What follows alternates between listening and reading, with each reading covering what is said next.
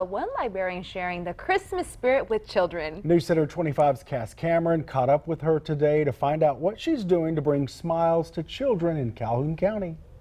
The Calhoun County Library Children's Program is more than just a job to children's librarian Kelley Ashley.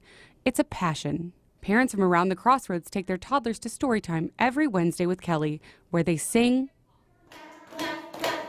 read stories, and make arts and crafts like these Christmas ornaments for the Christmas tree at home.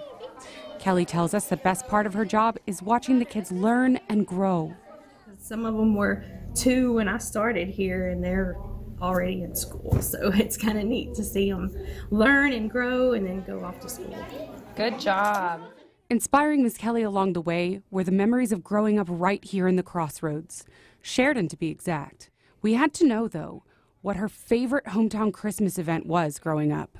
Definitely the lighting of the um, the courthouse in Hallettsville. That was always fun. Um, we would go. Everybody would load up and um, stand around on the square and wait wait for the lights to come on. That was always that was always fun. It was like a, a family thing when we were growing up. The magic of Christmas is what Kelley tries to share with families at the Port Lavaca Library, because like many of us know, the most joyful elves are children.